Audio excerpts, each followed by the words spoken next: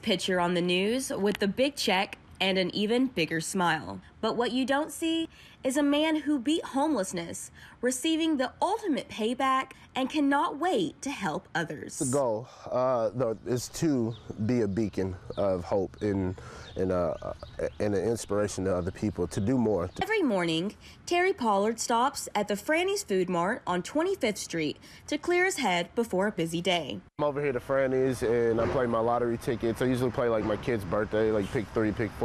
Friday, he woke up and did the same thing he usually does. But little did he know, spending the last $25 in his pocket would change everything for someone who at once had nothing. Um, going to get a skill.